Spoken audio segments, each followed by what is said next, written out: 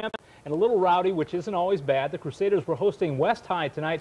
Both teams came in at 1 and 3. The Wolverines have played a very tough road schedule early, always against good competition. And as expected, this game wasn't high on style po points tonight. Kansas recruit Kirk Hinrich comes up with the steal and will go the distance to drop it in. West trailed for most of the first half. The Crusaders had an eight-point lead after one quarter, though. Mike Fitzpatrick bombs away for three 19 to 11, Heelan after one. Heelan would lead at halftime 28-26. Mike Moody, nice dish to Tom Carroll. That is pretty. And uh, but Westwood pulled it out in the end. Waylon Goodwin with two points on the fast break, 56-52. West gets win number two on the young season. Over at East High. And with celebrity tonight, the 4A ranking show what kind of respect the rest of the state has for West High basketball. Even with a 2 and 3 record, the Wolverines are ranked 10th in this week's poll. West was home against North, who, after an 0-3 start, has won three in a row. And just like a Lakers game, the Stars turn out. Kansas coach Roy Williams on hand to watch KU recruit Kirk Hinrich, or either that or he's just a big Sports Force fan. North trailed at 31-20 at the half, tried to keep it close. Michael Kalen hits two. He would lead the Stars with 12. It wasn't always pretty tonight. Two teams getting after it on the floor. The loose ball will go over to West High, and they get it to Casey Verga. He ends up with the ball and the bucket. West by 13 in the third quarter. Now off the miss, Vergeth will grab the rebound, throws a touchdown pass to Hinrich for the two, the easy way. 47-28 West after three. Hinrich finished the night with 29 big points. Now Hinrich running the break ahead to Waylon Goodwin, and West rolls over North tonight 64 to 38, winning their home opener. Started off real slow, but I looked at the scoreboard, we're up like 14 nothing. So that was weird, but the game just seemed to like, kind of drag on. I thought we had stretches where we really played good, and we had stretches where we really didn't play very good. We struggled all week during practice, and uh, we had to bring it together tonight. And uh, one of the things we focused on is coming out right away and uh, going right at them, and that's what we accomplished. We shut them out in the first quarter, and we just kind of took it from there. This game was close. Scoreboard tells the story tonight. It was not close. West up 30 to 11 at the half, and they continue to pour it on. Casey Verga with a pretty turnaround. West with a 27-point lead. The Wolverines continue to go strong to the hole. Kirk Hinrich misses, but Verga pads the rebounding stats there a bit, the board and bucket. Heelan tried to stay in it, kept firing there. Mike Fitzpatrick squares up and drills a three-pointer, but this wasn't enough tonight. West rolls by 22. Brandon Fravel with the jumper. 55-33 is tonight's final. Down at the Mini Dome tonight. If you like basketball, and I hope you do, and I hope we're ready too, we've got some great games for you tonight. In the form of an iceberg, he's Anthony Flores, and in the form of low-price livestock, I'm Brad Pouch. Welcome to the Hall of Justice. We've got highlights of eight area games and a college track meet up in Vermillion. But I get to start tonight. Must be something new. A big game, a top 10 battle between Sioux City East and Sioux City West. To call tonight's game a war would, would have been a laughable to West senior Slaven Markovic, the 6'8 senior center just came to the U.S. from a war-torn Bosnia this summer.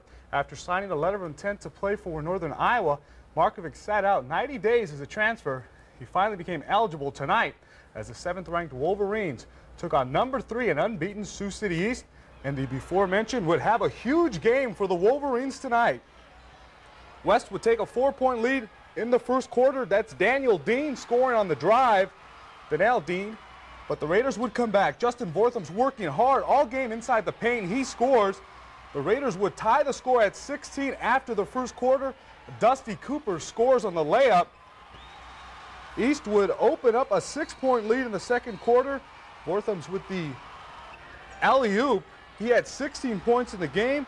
And then it's Jeff Carlson scoring inside for the Black Raiders. He had a team-high 17 points but the Wolves would battle back. Check out Waylon Goodwin using Carlton. Maybe got away with the push. And then he gets the basket inside. He had 16 points off the bench for the Wolverines tonight. Maybe. no harm, no foul. I guess West cuts it down to a bucket. Kirk Hinrich with a nice tip in, but East closes the, the, the half on a 9-2 run. Tony Ginger hits one of four three-pointers in the game. He had 12. West opens up the third quarter on a 10-0 run. There's Markovic. He had 12 points in the second half and 16 in the game. The Raiders cut the lead down to four in the fourth quarter, but too much Hinrich. A triple-double, 21 points, 11 assists, and 11 rebounds as West wins 78 to 61.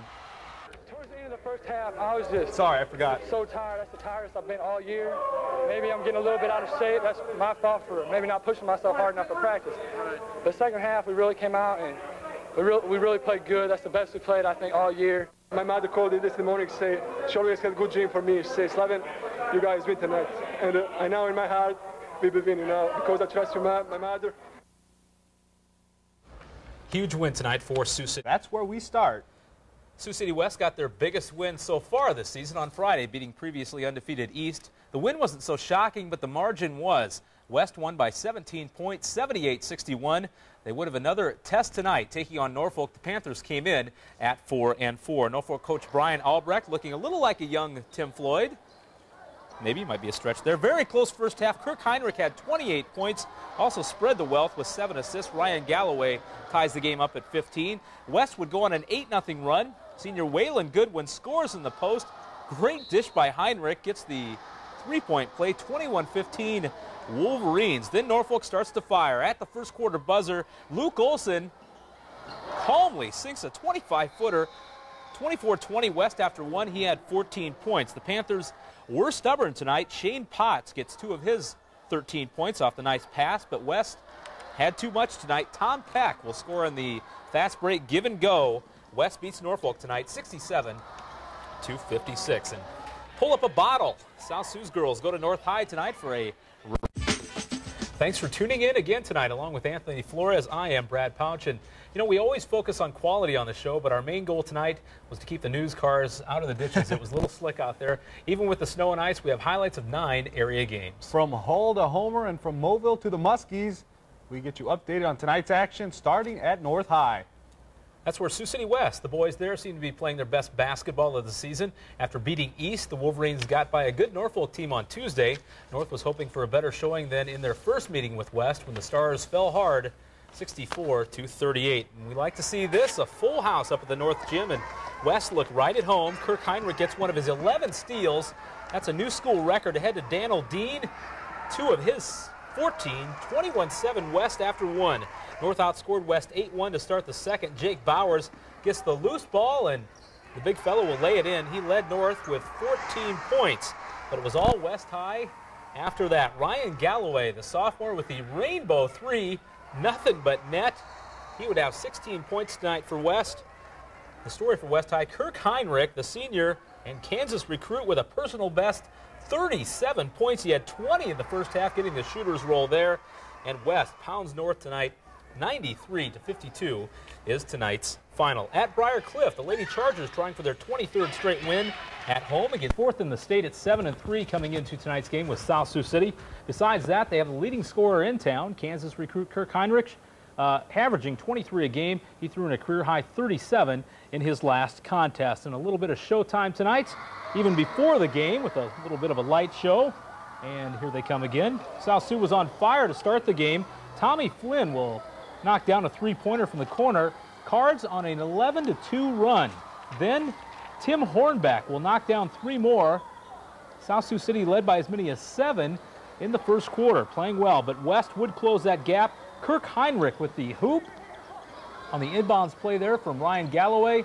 That's an easy two for him. Then Thomas Peck will knock down the open jump shot, and West, we don't have a final in this game yet, where they were trailing by two after one. We hopefully will get a final very shortly. The North cheerleader at West tonight, the spotlight on Kirk Hinrich and teammates. Wolverines hosting Council Bluffs St. Albert, right on cue. Hinrich would become the school's all-time leading scorer. He also leads the team in assists. This dish to Slaven Markovic for two of his 12. West by seven after one. The Wolverines' other big man, Casey Verguth, also, also playing well. He cleans the glass, puts it back in. He also had 12 points. West led by as many as 20 tonight. Ryan Galloway, nice scoop. He led the way with 18 points. Hinrich did uh, get the school scoring mark. He had 14, and West cruises 66 52. Hinrich now fourth all time in city history. Denison City. a great game at West High. Sioux City West and Hull Western Christian might both be playing for state titles in Des Moines in about a month. Tonight, only Pride was on the line as the number three team in Class 3A. Western Christian came to play the fourth ranked team in 4A. West, both teams had won 10 straight games in a very intense atmosphere tonight. West led at 34-32 at halftime. West would score the first six points of the second half. UNI recruit Slaven Markovic inside. He led all scores with 23 points. West with an eight-point lead. Dordt recruit Sean DeStickler scored 13-2 coming on the beautiful reverse lay-in off the glass. West by six after three quarters, 47-41. Not a game for the weak of heart. Look at this. Aaron Van Hall head over heels on Kirk Hinrich. Fourth quarter now. Sophomore Ryan Galloway steps up with a three. He had 13 points. West up by eight again, but Western would close it to three in the fourth. Justin Van Matron with three of his team high 16. Kirk Hinrich held to just 12 points tonight, half of his average, but this late three made it a six-point game. Hull Western had a chance to tie it at the horn. DeStickler with the three-pointer, but it's off the rim, and West survived 64-61. Both teams lucky to get out of here alive. Yeah, we wanted to use this game as, you know, to see where we're at. We knew they're a real good team. I felt we played really good. I think they're the best team we played this year. The physical play, we're not going to see this in tournaments, obviously, because, uh, well, you just don't see this. And, uh, but I think the game will help us. Uh, the guys are very disappointed, but they'll bounce back, and uh, we've got a lot of good things ahead of us. Council Bluffs Thomas Jefferson because Kirk Hinrich had a very sore ankle, sat out much of the first quarter. This three did make it 9-0. He finished the night with 22. West led by eight after one. The Wolverines hit the boards here, and Ryan Galloway will put it back in. It's 13 to 5 early. The lead quickly got to double digits in the second quarter. Slaven Markovic with the bucket. He had 16 points. West cruises past TJ. Tom Peck with the open jumper, and the Wolverines get an 80 to 51 win in round one. So here are the 4A sub-state matchups in the next round. Abe Lincoln will now visit West Friday at 7 o'clock over at the West High Gym. And the number 9 East Boys, who are the top seed and had a bye tonight, will host Heelan also Friday at 7. Council Bluffs Abe Lincoln into the first. Kirk Hinrich wheels and deals in the lane for the bucket 18-14. West after one, he had 20. Then Hinrich with a nice bounce pass inside to Casey Burgeth. Still only 32-30, West by two at halftime. AL kept hanging around. Sean Steenson gets the hoop and the hack. The big 6'7 guy goes to the line. The Lynx had a 51-50 lead in the final seconds of the game. Ryan Galloway would have the winning bucket, though, at the buzzer. Tom Peck here chipping in with three.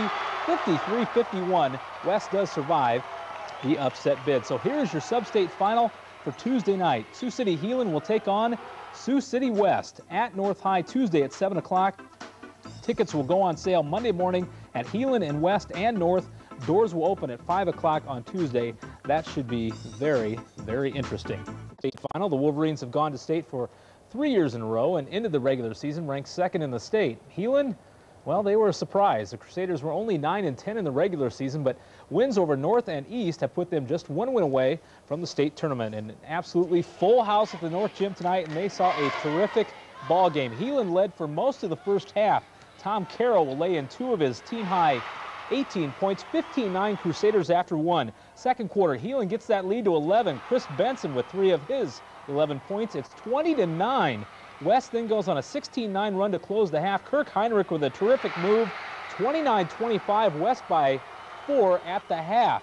Third quarter now, West would get that lead up to a dozen. Slaven Markovic had 18 in the game, 11 coming in the third quarter. 45-33 West heading to the fourth. Heelan would get as close as six points in the final quarter. Tom Carroll, nice drive here for two more. The West would hold them off. Hinrich had 26 points to be, become the all-time scoring leader in the city. He finished with a dunk, 68-59. West goes back to state for the fourth year in a row. Yeah, they've really been the comeback team. I mean, I think almost all their victories down here, down the stretch, they've been behind before they came back to win. So I was really worried. I wasn't, you know, satisfied until the buzzer sounded. Yeah, Heelan really they played us hard in that first quarter, and they're probably one of the better teams we've played this year. They played very hard. They rebound well. They're very well coached, and we're kind of lucky to get out of there alive. We, we knew they were playing really good ball, but we kind of underestimated at the beginning, and we just needed to step up and play some defense, and that's what we pretty much did in the second half. And who will West play in the tournament? Well, we don't know because a couple of the sub-state finals were postponed tonight because of the weather, so we won't find out until tomorrow the matchups in Class 4A. will be making their fourth consecutive trip to the state tourney when they tip it up against Waterloo East on really Wednesday nice night. To see all the people come out and you know ask for autographs. It makes us feel real good. You know they're great fans, and hopefully these little kids that are out here will want to be future Wolverines someday. We have another opportunity each year. I'm, I really feel good for our seniors that they have a chance to do this, and uh, we want to go down and try to represent at uh, West High School in Sioux City uh, in a good fashion.